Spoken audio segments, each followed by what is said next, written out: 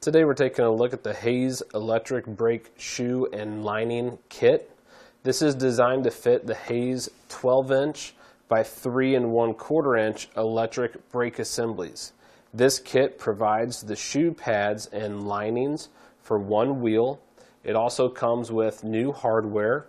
Now your hold down springs are sold separately. I do want to point out that it's made from a durable corrosion resistant construction and I also want to point out that the pads are actually bonded to the shoes, not riveted, which offers longer life expectancy out of the pads.